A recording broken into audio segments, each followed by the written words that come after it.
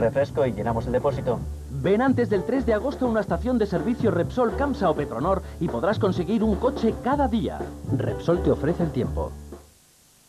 Muy buenas noches. Hoy de nuevo la atmósfera ha dado muestras claras de inestabilidad en zonas de la mitad oriental de la península, también en puntos del centro y en algún que otro lugar del suroeste.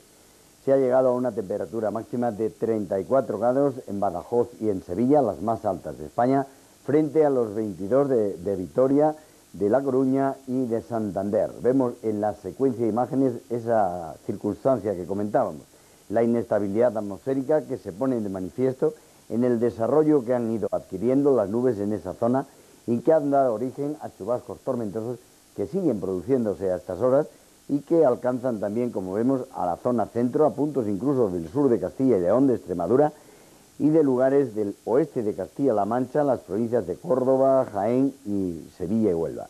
En el resto predomina el ambiente soleado, lo mismo que en el archipiélago canario. En el mapa previsto para el mediodía de mañana seguimos observando el anticiclón potente en el Atlántico extendiéndose hasta el noroeste de la península. Vemos el extremo de un frente de carácter cálido que a esas horas, después de haberse deslizado por la cornisa cantábrica en los Pirineos, estará saliendo al Mediterráneo. Con esta situación y lo que hay en las capas altas de la atmósfera, mañana también puede haber chubascos moderados y tormentosos en la mitad oriental peninsular, tendiendo a medida que vayan transcurriendo las horas a disminuir la posibilidad de que se produzcan precipitaciones de ese tipo, que por supuesto también afectarán a las Islas Baleares, mientras que en la mitad oriental, como vemos, predomina el ambiente soleado. Algunas nubes batirán a orillas del Cantábrico que tenderán a desaparecer, brumas también en esa zona, lo mismo que en el interior de Galicia. Algo nuboso en el área del estrecho, en Melilla y en el norte de Canarias, con vientos de moderados a fuertes en este archipiélago, viento de levante moderado en el estrecho, noreste de moderado a fuerte también en las costas gallegas. En la jornada siguiente, el viernes, cielos nubosos y posibilidad, si acaso, de alguna precipitación, pero muy débil y aislada, que tenderá a desaparecer quedando despejado a orillas del Cantábrico, también podría ocurrir esto, en los Pirineos Occidentales, algo nuboso también en el noreste de Cataluña, en Baleares, en la zona del estrecho, así como en puntos de la mitad occidental del área mediterránea andaluza y en las Islas Canarias. En las demás regiones, cielos prácticamente despejados, con unas temperaturas que tenderán a subir en la mayor parte de las regiones. Y en la jornada del sábado, pues predominio de los cielos despejados, exceptuando algunas zonas que en el transcurso del día irán apareciendo nubes en zonas del interior, donde por la tarde podría haber algún que otro núcleo tormentoso, pero ya digo que serán zonas aisladas y más bien en áreas de montaña. Algunas nubes también en el estrecho y en el norte del archipiélago canario, con tendencia a seguir subiendo las temperaturas. Muy buenas noches.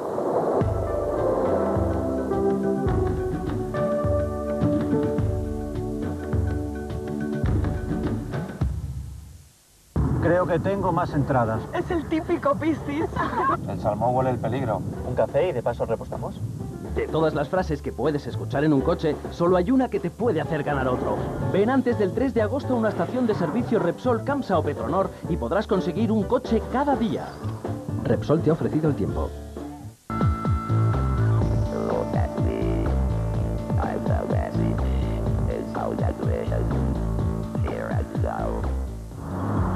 Tercer programa especial para celebrar que ya somos centenarios. En 100 programas de Cámara Abierta 2.0 hemos comprobado que el periodismo ciudadano no solo existe, sino que arriesga y salta los muros de la censura a través de la red. Es un complemento perfecto, pie de calle. Una nueva fuente de información para los que dedican su vida profesional al periodismo.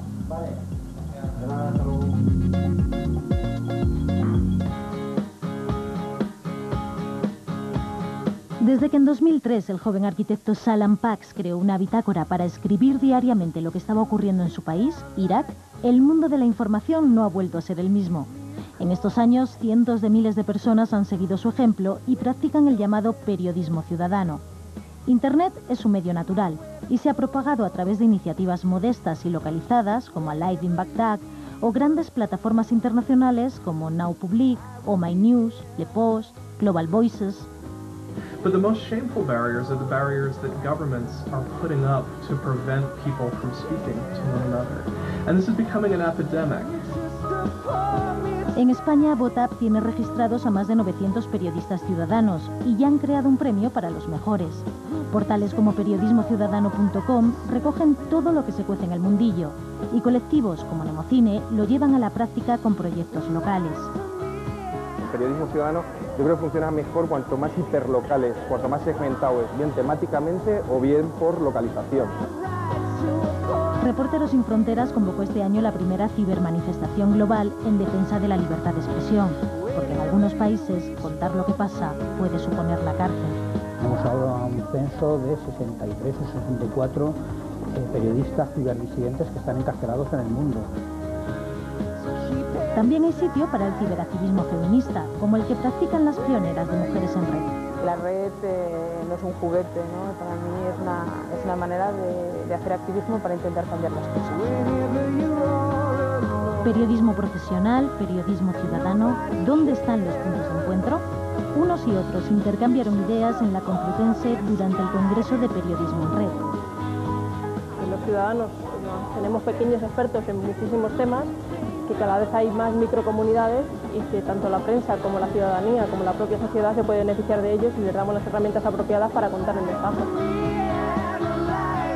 En estos 100 programas hemos comprobado que muchos periodistas no se conforman con su trabajo en la redacción y utilizan la bitácora para escribir a su aire con total libertad. Debate sobre todo y con todos. De educación como Tiscar, política como escolar o música como los chicos de Jensen's Pop. Y hemos visto que no hace falta ser joven ni friki para estar al día, como demuestra el periodista Enrique Meneses cumplidos los 78. Porque es el Twitter, es el otro, es lo, lo de más allá, son las redes sociales, que, es que es impresionante. Si no estás al día, estás muerto. Grandes y pequeños apuntan a la movida. Radio Televisión Española ha estrenado un nuevo portal con programación a la carta, blogs e infinidad de contenidos. El Ciberpaís, decano de los suplementos digitales, ha celebrado sus 10 años de vida. Y en el universo estrictamente digital hemos comprobado cómo los medios son integradores, cómo crecen y se transforman y cómo nacen con nuevos idearios. No vamos a ser un periódico clásico. Nuestra mirada sobre la actualidad va a ser muy diferente. No están todos los que son, pero son todos los que están. Y esto no ha hecho más que empezar. Para contaros de verdad cómo crece el periodismo en red, nos hacen falta por lo menos otros 100 programas.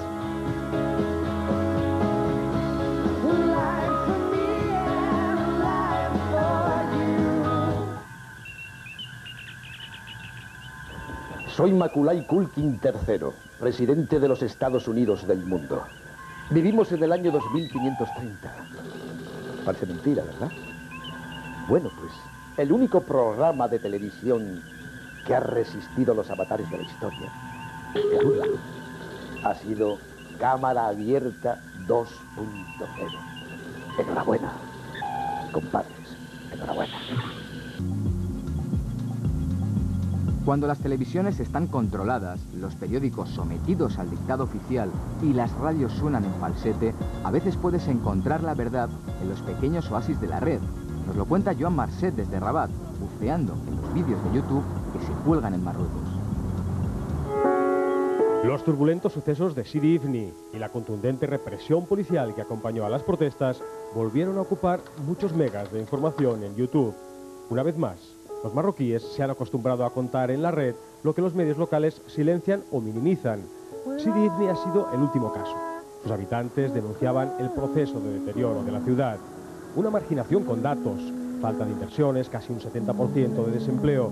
En su hartazgo, cortaron el paso a los camiones cargados de pescado durante nueve días y la respuesta fue una dura intervención policial y militar, con decenas de detenidos y heridos y de casas allanadas. Todo eso se volcó en la red como forma de darlo a conocer al mundo. No es la primera vez. A finales del año pasado, YouTube desvelaba un secreto a voces en Marruecos, la corrupción policial. Las imágenes mostraban cómo los conductores eran obligados a pagar sobornos. Ocurría en las afueras de Targuís, al norte de Marruecos, una región que pasaba gracias a Internet de ser zona olvidada en la ruta del hashish a convertirse en punto de concentración global de miradas, ya que más de medio millón de personas pinchaban los vídeos de un colectivo particularmente audaz, con nombre sonoro, el Sniper, el francotirador de Targuís. Desde la revista Telquel, Medí siguió el fenómeno. De naître aujourd'hui au Maroc euh, grâce à Internet. Donc les Marocains commencent à se tourner de plus en plus vers Internet pour communiquer et pour euh, militer pour un Maroc meilleur comme ils le veulent eux-mêmes. Los vídeos denuncia acabaron provocando una depuración de agentes y en Marruecos se vio a los videosnipers como unos modernos Robin Hood. Ils ne veulent pas être considérés comme des stars, ils veulent juste être de simples citoyens qui font leur euh, devoir citoyen. Les snipers, il y en a de plus en plus au Maroc. Et si ça devient un phénomène, ça pourrait être une, une arme très, très intéressante contre la corruption. Aunque a veces el poder de YouTube se vuelve en contra y los invitados a este simulacro de boda gay en la conservadora ciudad de Casar el Kibir, cerca del Arache, presentaron episodios de rechazo contra homosexuales.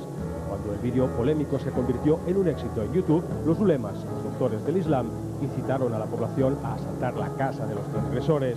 En compensación, esta acción represora volvió a poner a Marruecos en el punto de mira internacional. La prensa llegó a hablar de caza gay y 150 intelectuales firmaron un documento que recordaba la necesidad de separar más Estado y culto. En un país donde el peso de las tradiciones es aún gigantesco y con los doctores de la religión siempre vigilantes, el fenómeno YouTube supone una gran ventana al mundo. Es lo que hemos visto y contado desde Rabat para Cámara Abierta, acompañando el programa número 100, al que llegamos esta semana. Hola amigos, soy Kurt. Me recordarán por agendas tan entrañables como estas. Buenas noches. Empezamos con una nueva sección. ¿Qué repasa lo que no te puedes perder en MySpace? La web social más grande del mundo. Lo primero, feliz año nuevo a todos. Vamos a repasar las novedades de esta semana en MySpace. Vamos a ver de esta semana en MySpace. Y para terminar, esta semana tan festivalera y musical, no te pierdas uno de los videos que más me han flipado últimamente. Estamos de enhorabuena. Me he vestido de gala para felicitaros a todos por los 100 programas de cámara abierta. Es un orgullo para mí y sobre todo para vosotros que yo pueda participar en este proyecto tan Y no olvidéis amigos que Internet es muy importante. Brindemos por ello.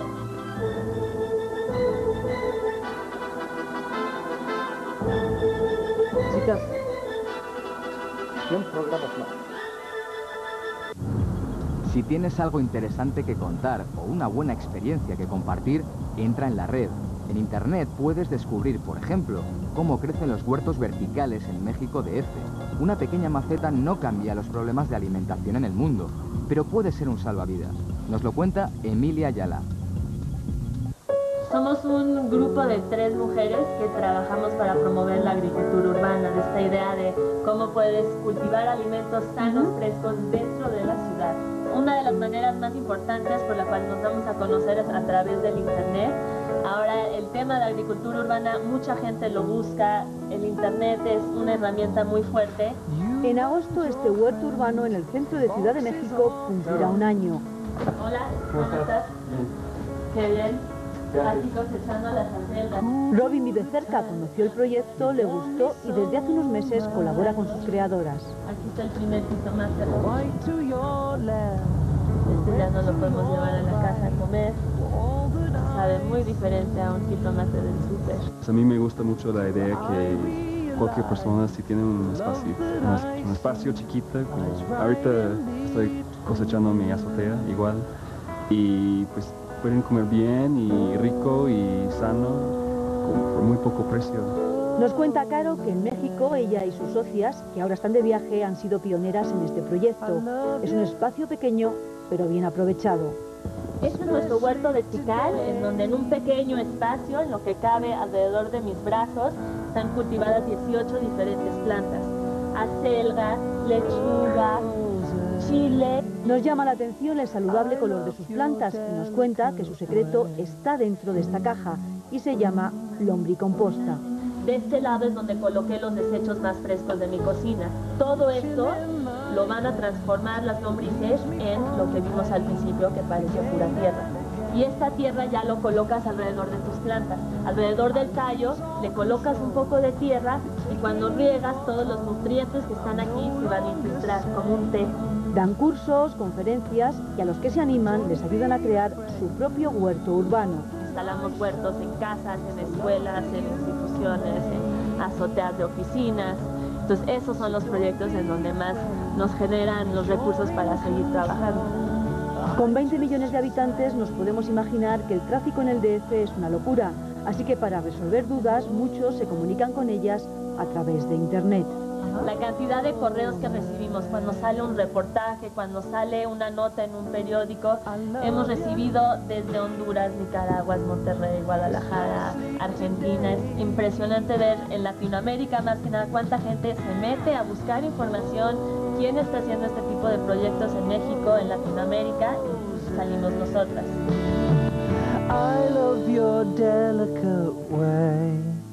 Felicito a Televisión Española por su programa número 100 en cámara abierta, deseando muchas felicidades a todo el personal de televisión, así como a todas las personas que están oyendo el programa continuamente.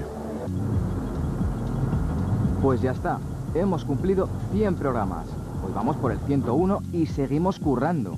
Pero como nos gusta la fiesta, nos gusta el humor y compartir las cosas con amigos, ayer estuvimos todos en la Casa Encendida de Madrid, un sitio perfecto para la gente que antepone la creatividad a cualquier otra cosa. Os damos las gracias a todos. Hasta el lunes.